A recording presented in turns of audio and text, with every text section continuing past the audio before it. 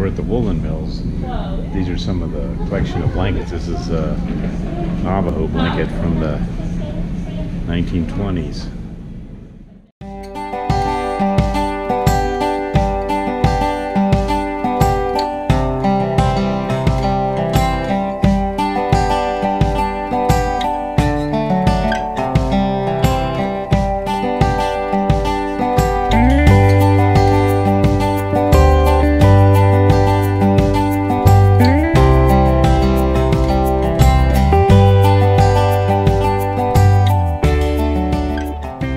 Carved lamps.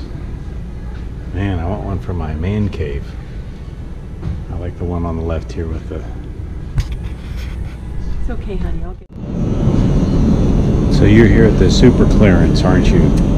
Well, I am, but most every almost everything I looked at on there is not made. Some were China, some were India.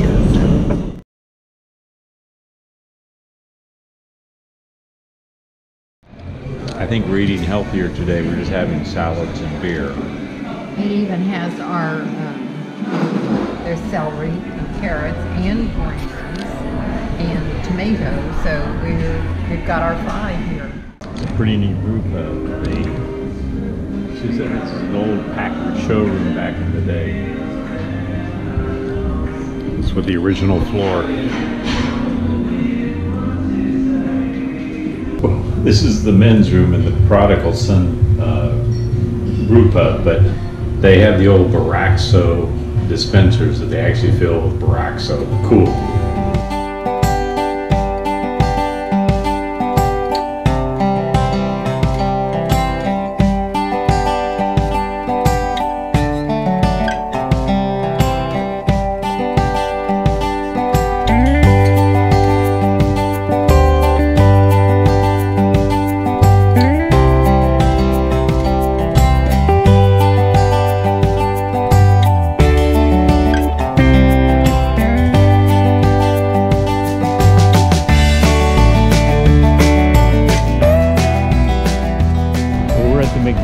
Dam Spillway.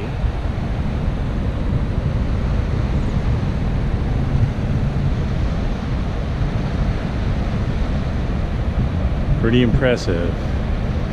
That's the powerhouse, which they say has 16 generators. I think I saw 2.2 megawatts of capacity, generating capacity.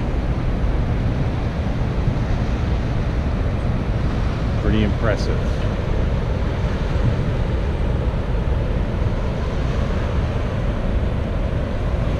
And then on the far side is the uh, locks to get upriver to Lake Manali and uh, just beyond here is Umatilla Port where they load up uh, barges and ships. Nice little park here with restrooms, a couple picnic facilities, shade trees. The other neat thing is down here is probably about 10 degrees cooler by the river than it is uh, up in town. We're in wine country. Well, sort of wine country. it is wine country. We're at the Columbia Crest Winery. In, what's the name of this town? Somewhere in Washington State. The very first winery on the Prosser Tour. but gardens are beautiful.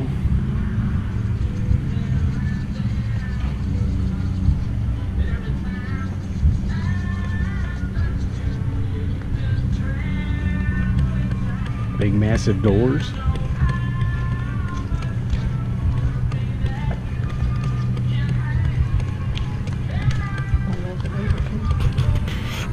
Oh, I gotta figure out how to get those into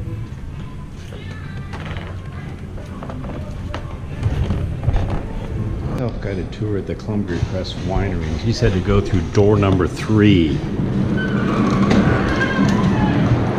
can smell the wine.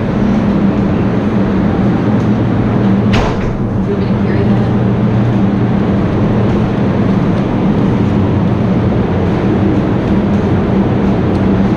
Wow. Talks about the wine. See, this is why we shouldn't leave it in this hot car.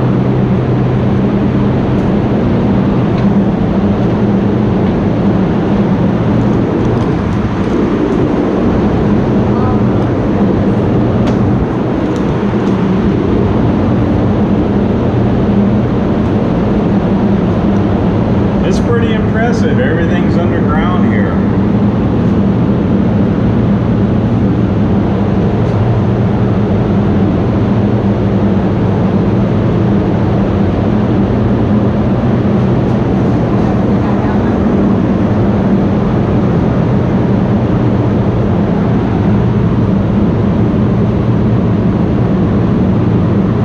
Well, this is the vineyard. This is the Clore vineyard, which, uh, according to the lady, said the Clore, Mr. Clore would uh, had convinced people that this was a great place in eastern Washington to grow grapes for the vineyard because they had hot days, cool nights, good soil, and they could certainly they have to water here, but uh, you can see the abundance of uh, fruit on the on the vines here. It's pretty interesting.